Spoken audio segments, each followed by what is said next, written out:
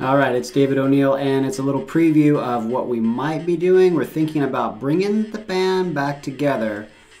A couple of you guys on Facebook, Arthur Vassar, and a few others, have said they might be interested in co hosting Extinct Attractions podcast coming back. It's been 10 years? Yeah, 10 years since we did the show. So, um, a lot more things are extinct, and we got some new toys I don't know. Everybody's stuck inside. We might as well do something. We've got a studio, so let's do it, huh? What do you think? We can go back on the People Mover and I don't know, check out the submarine voyage before it got Nemofied. I'm just saying that it looks like a lot of fun. It'll be live. It'll be on YouTube. We'll repost it to Facebook.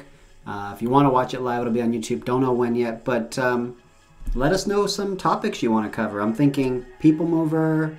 I'm thinking maybe like some theme park news. I don't know. I've got all the videos that we created from 1998 till 2010. Lots of stuff has happened. We can chat about it. It'd be nice to have some host with me since I'm just uh, here in the studio isolating.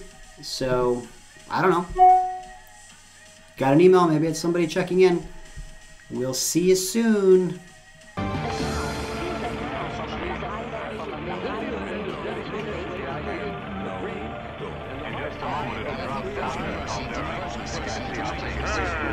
What's holding you up? Let's get on with the show. We can.